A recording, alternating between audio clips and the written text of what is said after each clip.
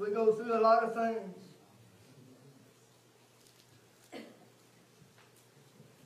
But there's nothing that we can't go through if we got Jesus standing in our heart. I thought about this the other day.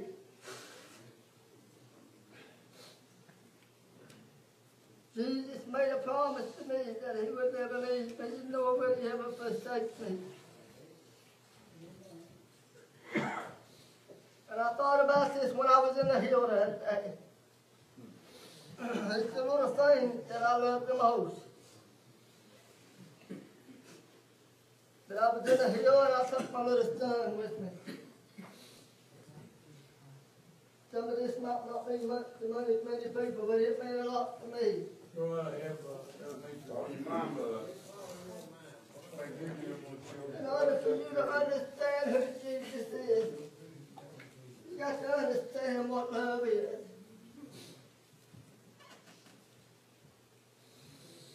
I was holding my little son, and it took me back to the time that when my mama was here. And it took me back to the time that I felt the Lord save my soul. You remember that time that you didn't know what else to do? To serve. You remember that old devil put you through a lot of things? And he really did. And I was sitting on the top of that mountain and my son looked over and he said, Daddy, he said, what is this? And I guess it was a big cow about that big and I said, son, it ain't nothing. And I looked back and looked at him again and he was crying. He said, Daddy, don't let that thing bother me. And I thought about that, thought about that, and it didn't really hit me. I said, Daddy's right here with you. There ain't nothing gonna happen to you. You remember the time that when you was at the house or wherever you was at and you began to pray, Lord, I don't know what to do. Do you remember the time when you heard that voice speak from heaven? Yes, I believe. I thought about what Brother Shelby talked about. I'm glad that I got a God that knows the very thoughts of my heart. And as I told my little son and I began to embrace him, do you remember seeing as I was holding him, those tears began to dry, but he felt comfort. When I found Jesus, I have found it all. And now that I'm on my journey here, I'm going to continue to look unto the rock that is high and high. And when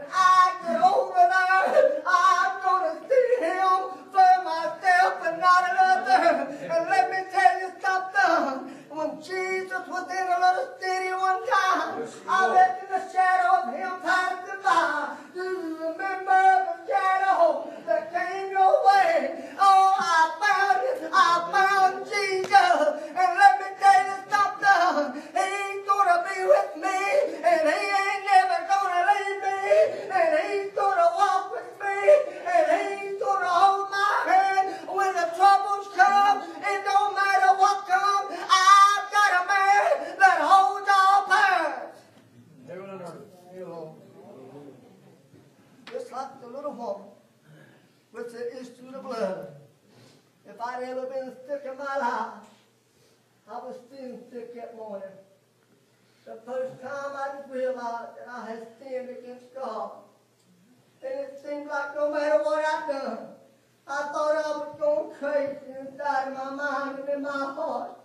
And it seemed like no matter where I turned or which way I turned, and finally, Sister Lena, I heard the sweetest voice that I ever heard in my life. I am the way, I am the truth, and I am the life. Yes, I may be a little David, but let me tell you something. There ain't enough times in this world that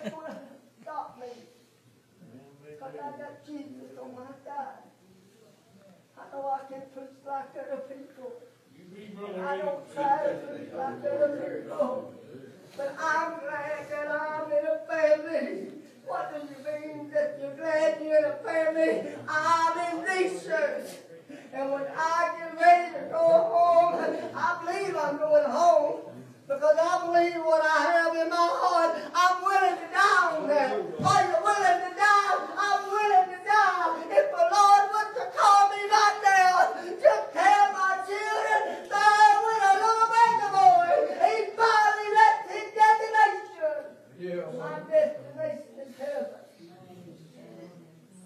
I want to give you something. It doesn't matter what you've done in your past. I try to preach this everywhere I go. Listen to me. It doesn't matter what you've done in your past. Just like the other day, like a little while back, somebody came up to me and said, you know, your daughter's too young. And I told them they were crazy. And as we begin to talk, I told I asked them a question. How can you look into my little girl's heart, Lord, to come to my house and want her to kneel down and pray? If you want to have a meeting, get your children around and let them kneel down beside of you.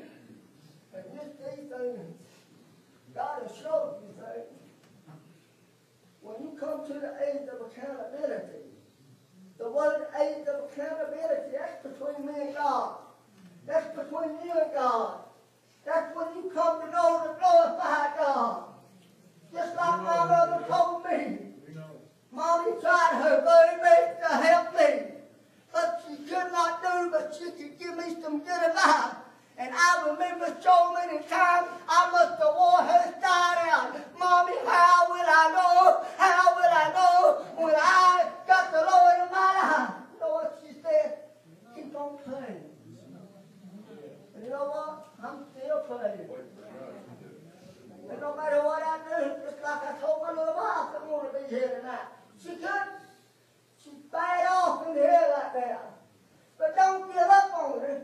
Because let me tell you something. I've been down that road before. And let me tell you something. My God will deliver her. Amen. But Believe. I can pray for you. God has to get you in a condition. Sometimes they've had just a little above his head. There you go. I get a little bit above myself, and I think I can do what I want to. And God shows me right there and there, you can't do nothing without me. I can't even come to the Lord Nancy church without Jesus. That's just the way it is.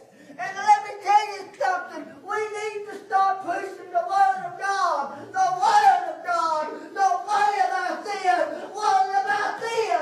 What's in here? Because if your children don't get it in here, it's over. I don't know about you. But whatever it takes to get my children while I'm alive, listen to me. I ain't got time for tradition. I want my children to go to Jesus. That's the love of a daddy.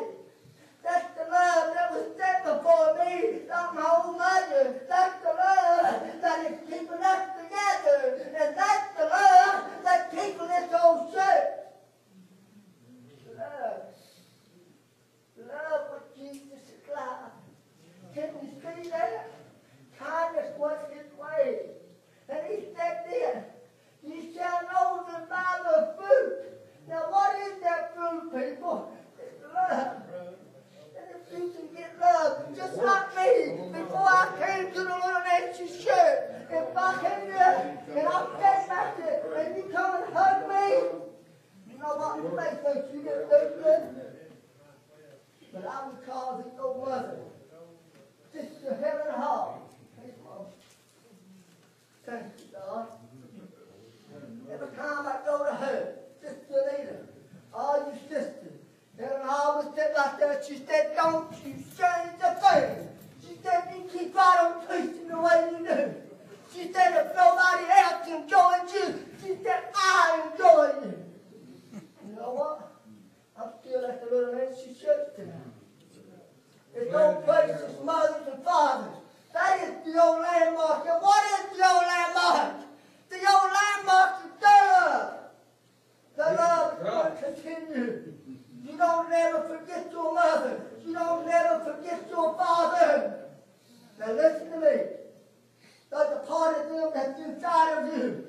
Even your mother and father, I didn't know, there's a part that's in you. And the way they brought you up. Now this is what I tell people. This is how I come to explain to my children. If you're raised in a free will church, don't get mad at me. And if you're raised in a Pentecostal church and you're raised in an Overhampton Baptist church, how can I convince you that my way is right? And how can you convince me that my way is right? Your way is right. We ought to convince each other. Let's get it to get our hearts right. Don't judge me, and I'm, I'm not going to judge you. But if I do judge you, you know how I'm going to judge you? I'm going to come to you and tell you that I love you. That's my judgment. Because you know what? I can't keep you in the world. If you ask to do things of the world, that's between you and God. I know I can't do those things. Because let me tell you something, when I get to doing those things, God tells me I don't think so. And you know what? I don't get a blessing. You know why I don't get a blessing? Because Abraham does what he wants to. When it's all about Jesus. Are you following what I'm saying? That is, listen to this. God is a spirit. And he seeketh such to worship him in spirit and truth. Even the little woman. Now listen to that. There's only one way to get chairs to the glory land. And you better have Jesus Christ in your life. If you want to be an old actor Baptist, then I'll come and embrace you. But all that I want you to do is listen to me. Jesus Christ made it very plain. Repent and be born again. There you go. Repent. That is requi- required of all men and women to repent of their sins and be born again. Yes, I've got friends too wide shed all over the place. And if I see them and they tell me by their spirit that I can relate to them in here, guess what? I'm going to love them the same way that I love you. Because when I get to heaven, it's just going to be one big beautiful thing. I'm going there to see my mother. I'm going there to see my grandpa. Everybody that's made peace with God.